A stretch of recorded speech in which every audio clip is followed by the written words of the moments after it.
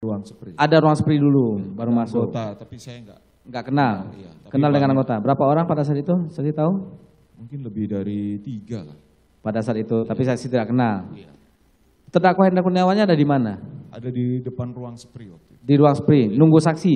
Iya, tapi enggak lama saya nyampe situ. Nyampe. Iya. Saksi masuk berdua Masuk, dengan berdua, dengan Pak Hendra. dengan Pak Hendra masuk. Pada saat baru datang ruang spree itu ada lihat ruang Pak ada lihat cuknya nggak? Cuk ini kan apa spree jabatannya? Ada, Ada lihat cuk, Ada. cuk juga pada saat itu. ada Cuk. Terus saksi masuk berdua Masuk berdua. menghadap Pak Ferdi Sambo Iya, menghadap. di ruang kerjanya. Di ruang kerja. Yang membukakan pintu masuk ruang kerja siapa? Kalau nggak salah si Arianto ini lapor dulu ke dalam. Oh Haryanto yang melapor. Terus yang disampaikan Terus di, di- dia buka pintu dipersilakan masuk dipersilakan masuk. Oke, saksi masuklah ke dalam. Masuk dalam. Bertiga saja Iya, bertiga. di dalam. Yang menyampaikan siapa? Awal mulanya Pak Hendra menyampaikan dua kali tentang apa yang saya lihat ke Pak Ferdi. Tapi Pak Ferdi hanya diam saja. Itu dulu sebelum sebelum itu saksi saya lupa. Itu jam berapa tuh? Jam berapa saksi masuk ke ruang Pak Ferdi Sambo? Jam tujuh setengah delapan lah ya. Setengah delapan ya. Tapi belum jam delapan lah. Belum jam delapan, oke. Pada saat itu saksi yang yang ngomong pertama ke Pak Ferdi Sambo, terdakwa Hendra Kurniawan, Iya Pak Hendra. menyampaikannya bahasanya bagaimana? Saksi masih ingat nggak bahasanya yang disampaikan? Izin Bang, ini Arif tadi pagi nonton CCTV. Ketika abang sampai ternyata Joshua masih hidup.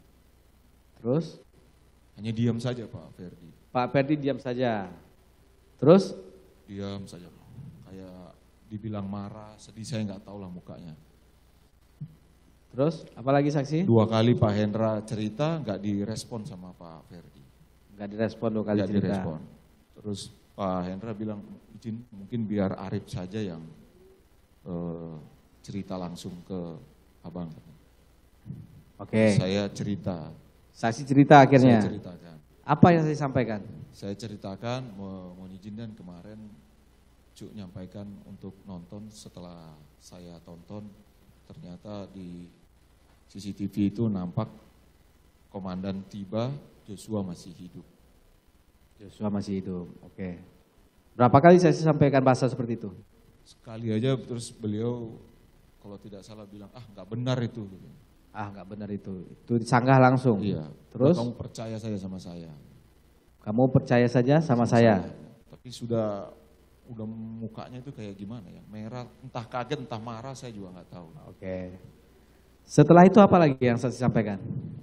Terus dia nanya, siapa aja yang nonton itu? Saya sampaikan saya dan Ridwan Cu Baikuni. Saya sampaikan Siap. berempat yang nonton kan, Ridwan, Cuk, Baikuni dan saksi ya. Iya. Setelah itu apa reaksi Pak Ferdi Sambo? Kalau sampai bocor berarti kalian berempat lah itu ya.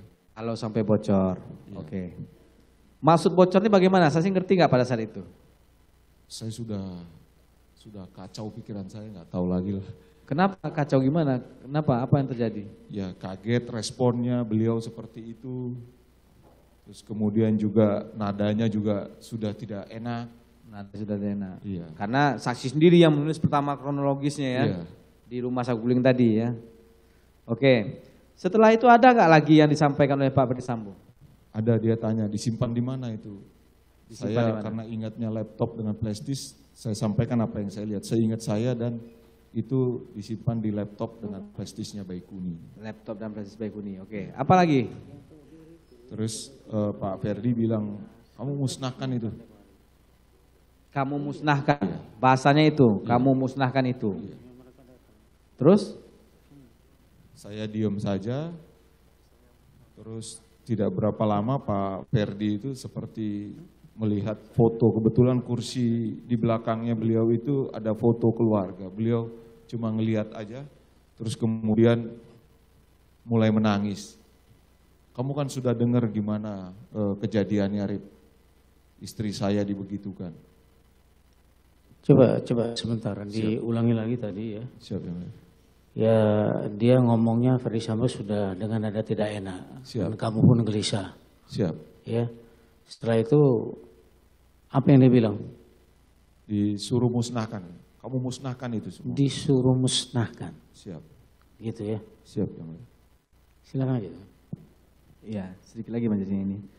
Musnahkan itu kan tadi. Siap. Musnahkan ini yang laptop sama flash disk atau Kalau yang dalam pikiran saya, yang saya tahunya hanya itu aja. Oke. Pada saat itu suruh musnahkan. Pada saat Pak Ferdi Sambo mengatakan musnahkan itu terdakwa Hendra Kurniawan ini ada di sana. Ada. Ada di ruangan itu ya. Oke. Pada saat itu saksi jawab apa? Saya bilang siap dan siap dan. Siap dan saja. Ada lagi nggak yang dilakukan? Saya waktu itu kan tidak berani lihat lihat Pak Ferdi Sambo. Sempat beliau juga marah. Kenapa kamu nggak berani lihat mata saya? Terus? Saya hanya diam aja, siap dan siap. Karena sudah nggak tahu lagi gimana ya. Perasaannya sudah bingung. Oke. Kemudian setelah itu, setelah saksi sampaikan tersebut suruh musnahkan, ada nggak itu kan disampaikan kepada saksi. Yang disampaikan Pak Ferdi Sambo kepada saksi tadi kan. Karena saksi yang menceritakan tadi kepada Pak Ferdi Sambo berbeda dengan CCTV dengan yang ditonton. Yang disampaikan Pak Ferdi Sambo kepada terdakwa Hendra Kurniawan ada nggak yang saksi dengar pada saat itu? Disuruh ngecek apa disuruh pastikan gitu. Kamu pastikan itu. katanya. Bahasanya bagaimana yang disampaikan Pak Sambo? Kamu pastikan itu Ndra. Kamu pastikan itu Ndra. Itu yang disampaikan Pak Ferdi Sambo kepada terdakwa Hendra Kurniawan. Terdakwa Hendra Kurniawan jawab apa pada saat itu yang saksi dengar?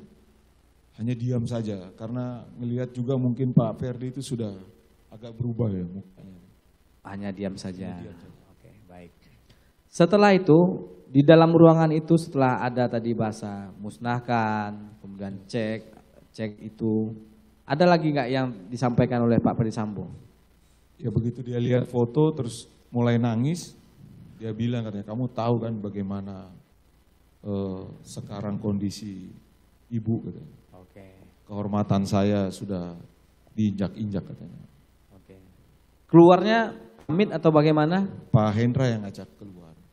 Seperti ngasih kode karena Pak Ferdi sudah nangis, sudah sudah keluar air mata lah. Kemudian Pak Hendra kayak ngasih kode untuk berdiri keluar. Keluar. Keluar. Di dalam ruangan itu berapa lama? Mungkin nggak nyampe 10 menit lah. Nggak sampai 10 menit ya, Nggak nyampe sebentar 10 ya. menit, iya. Keluarlah ruangan Keluar. berdua. Saksi ke mana?